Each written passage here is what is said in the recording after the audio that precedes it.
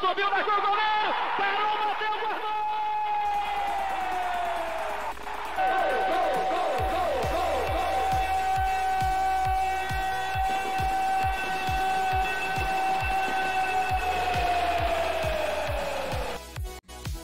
Olá, minha galera, um grande abraço. Estamos iniciando mais um conteúdo exclusivo aqui no nosso canal Lécio Costa Narrador. A nossa programação vai para o ar trazendo as principais notícias do esporte a partir de agora. Falando, claro, do Sampaio Correia, falando do Motoclube de São Luís, que joga daqui a pouquinho, a derrota do Imperatriz ontem para o Botafogo lá na Paraíba, enfim, a programação esportiva pelo Brasil, os resultados, tudo isso neste conteúdo de hoje no canal Laércio Costa Narrador.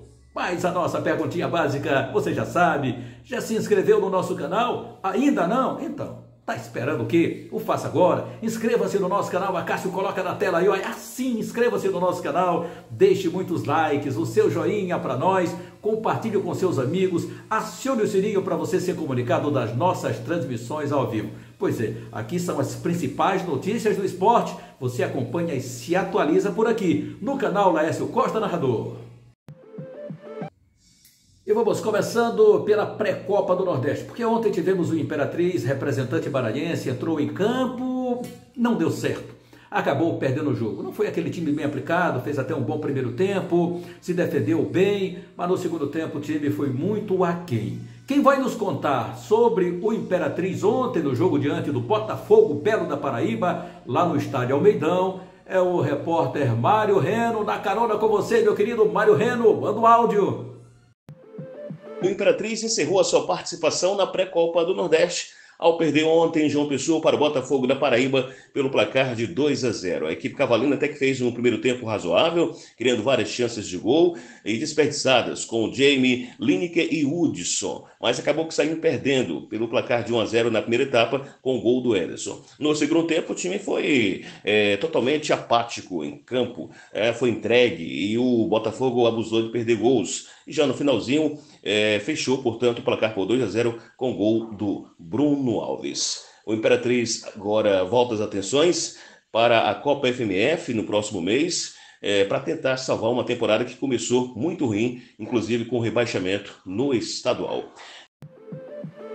E o Motoclube de São Luís entra em campo daqui a pouquinho, às 19 horas, na Arena das Dunas, em Natal, para encarar o América. Aniversário este que o Moto já encontrou nesta temporada, no mata-mata da Série D do Campeonato Brasileiro, perdeu os dois jogos. Perdeu na Arena das Dunas por 1 a 0 e depois aqui em São Luís do Maranhão foi derrotado também por 4 tentos a 2. Agora é a hora de ajustar as contas. E aí você vê, o Acácio colocar na imagem para nós, a visita do Kleber Pereira, ex, não, eterno ídolo do Motoclube de São Luís, um dos artilheiros do Brasil na época em que jogava pelo Atlético Paranaense. Aí está o Kleber Pereira levando o seu apoio, dando aquele abraço no Marcinho. Enfim, é isso, é a força, isso é necessário, essa sinergia passando, todo o otimismo para que o time possa conseguir um grande resultado esta noite diante do América de Natal pela pré-copa do Nordeste. É jogo único, é jogo muito difícil. Valeu, Clebão! E o Marcinho Guerreiro, que você também pode acompanhar agora nas imagens,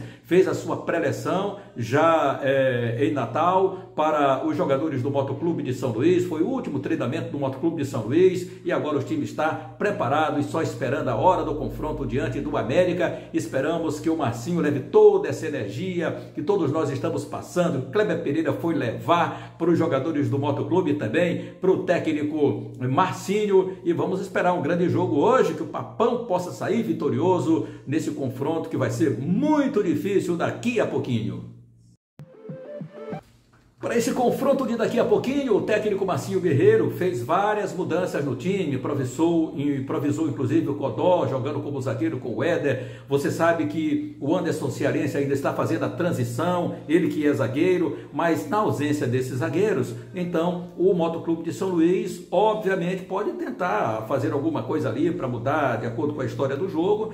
É, o técnico Marcinho então trouxe o Codó ali para fazer dupla diária, hora com o Rodrigo Barreto, hora com o Éder Vamos ver qual a escalação que ele vai colocar daqui a pouquinho em campo às 19 horas. Mas eu acho que a provável escalação do Motoclube será João Paulo, Diego Renan, o Éder, Codó, ou Rodrigo Barreto e Esquerdinha, Lucas Huck, Jeff Silva, Cleitinho e Henrique. Ele traz o Henrique, porque o Henrique é um jogador veloz para fazer a transição ali, é, fazer aquele famoso quadrado, aquele giro e tal, não obedecendo, hora cai pela ponta, hora cai pelo lado esquerdo, pelo centro, é, deve ser mais ou menos assim que quer, ele né, não guardando posicionamento, mais ou menos é isso que quer o técnico Marcinho em relação ao Henrique e o próprio Márcio Diogo, que é um jogador muito inteligente. Então ele traz aqui no meio de campo, é, vai ter o Hulk, Jeff Silva, Cleitinho e Henrique, Márcio Diogo e o Wallace Lima lá na frente. É o que pensa para esse jogo técnico Marcinho.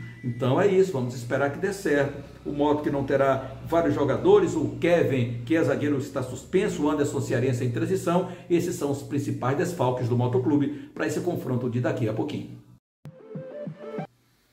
E o América, aniversário do Motoclube de São Luís. É, o América está juntando os cascos depois da eliminação aí da Série D do Campeonato Brasileiro. Vai encarar o Motoclube de São Luís. Tem quatro desfalques minimamente. O técnico Renatinho Potiguar. E aí, como é que ele vai armar esse time para encarar o Motoclube de São Luís? É, não terá Felipe Guedes. Leozinho e Rômulo. Na zaga, Ranieri seria o substituto de Rômulo, mas sentiu lesão no treino de quarta-feira e virou dúvida para o confronto. Jean Peter é a outra opção. Na lateral direita, Iranilson deve seguir improvisado. Por outro lado, o América tem a volta do goleiro Samuel Pires, que cumpriu suspensão automática contra o Campinense. O provável time que o Renatinho vai mandar a campo seria esse aqui, ó.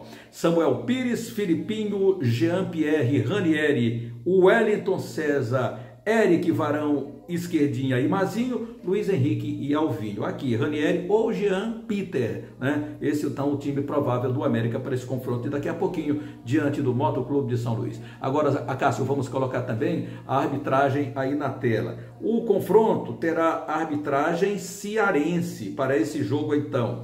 O confronto então arbitragem cearense, o árbitro é Luiz César de Oliveira Magalhães, árbitro assistente número 1 um, Eleutério Felipe Marques Júnior, e o árbitro assistente número 2 é Wesley Rodrigues Miguel, também do Ceará. O quarto árbitro é local, Alcinei Santos de Araújo. O jogo começa daqui a pouquinho às 19 horas. Olha, acompanhe comigo, eu estarei transmitindo pela Rádio Mirante a partir das 18 horas e 30 minutos da nossa grande jornada esportiva. A Rádio Mirante tem o seu aplicativo próprio, né? O aplicativo da Rádio Mirante. Se você tiver no seu celular, ótimo. Se não tiver, vá através do Google, vai do imirante.com que você chega até a gente, tá bom? Nos rádios net, no Tune Rádio, estamos também aí na internet para você nos acompanhar. Quando atingirmos um determinado número de horas, porque o nosso canal é muito recente, nós estaremos fazendo também as transmissões ao vivo aqui no canal Lécio Costa Narrador. Então, por isso que a gente pede, inscreva-se no nosso canal, deixe seu joinha, porque, claro, nós estaremos transmitindo os jogos ao vivo para você aqui no canal Laércio Costa Narrador.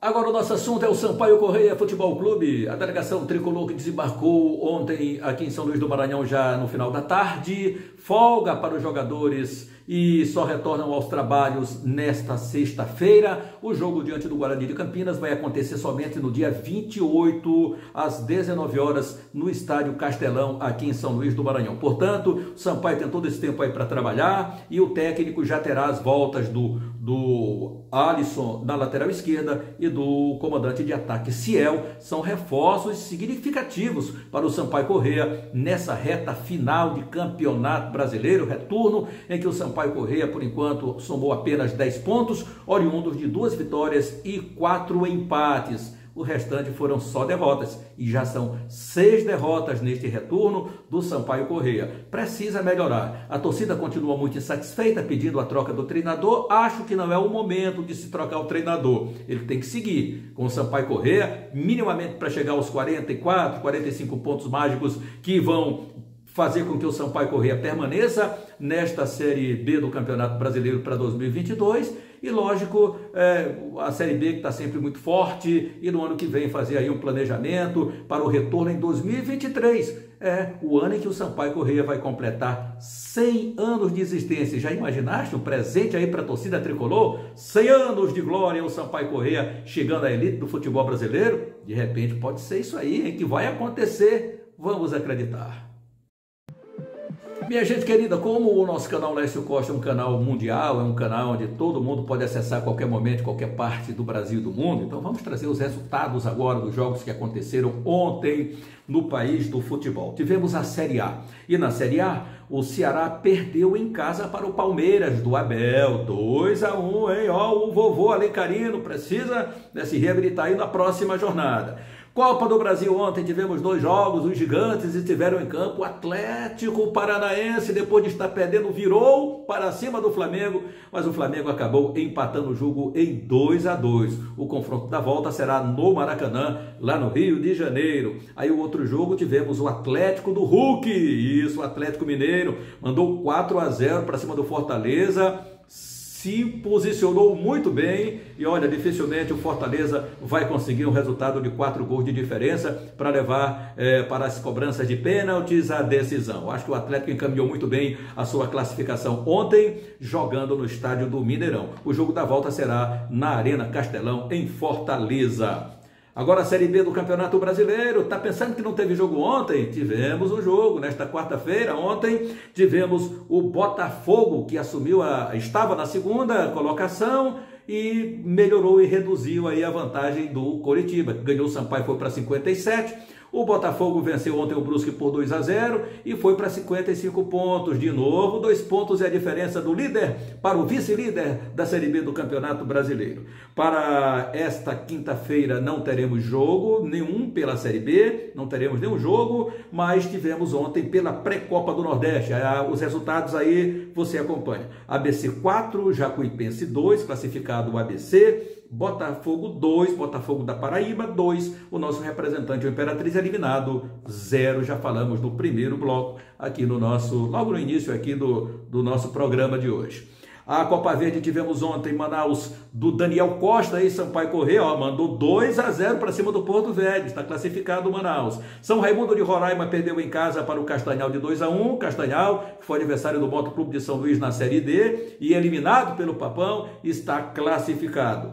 Rio Branco do Acre 1, Nova Mutum 4, Nova Mutum está classificado. Paysandu 6 a 0 para cima do Penharol do Amazonas, brincadeira, hein? Cuiabá 0 a 0 com o Brasiliense, Cuiabá seriado do Campeonato Brasileiro.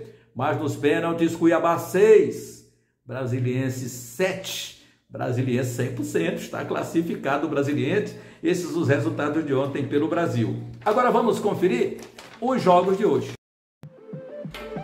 É isso, os jogos de hoje do Campeonato Brasileiro. Confira agora na telinha com a gente. A Cássio Jonathan, o nosso produtor, mandando ver. Tá bem, meu garoto. Olha a Copa do Nordeste. Teremos daqui a pouquinho o rádio. A Rádio Mirante vai transmitir. Eu estarei no comando da grande jornada esportiva. América de Natal e Moto Clube às 19 horas. A nossa jornada começa às 18 horas e 30 minutos. 600 kHz para o radinho de pilha normal. Depois lá pelos é, pelos aplicativos, pela internet, você nos acha com certeza, tá bom? Aí teremos então esse jogo 19 horas, às 21 horas e 30 minutos, CRB e River do Piauí, CRB, Clube de Regatas Brasil, que está na Série B do Campeonato Brasileiro, brigando por vaga, brigando por acesso. Vamos ver como vai ser esse confronto hoje. Pela Copa Verde, teremos Atlético Acriano e Aquidauense às 18 horas. Vila Nova, também disputa a Série B do Campeonato Brasileiro contra o Rio Branco, de Venda Nova do Espírito Santo, jogo às 19 horas e 30 minutos. E pela Série A do Campeonato Brasileiro, Internacional e Bragantino.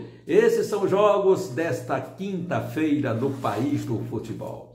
Ficamos por aqui, o nosso encontro marcado de novo amanhã, sexta-feira, com novos conteúdos para você aqui no canal Laércio Costa Narrador. Fique com Deus, um grande abraço e não esqueça sempre, inscreva-se no nosso canal, deixe o seu like, aquele joinha esperto, compartilhe com seus amigos, acione o sininho para você ser comunicado das nossas transmissões, dos nossos conteúdos. Fique com Deus, um abraço e até a próxima!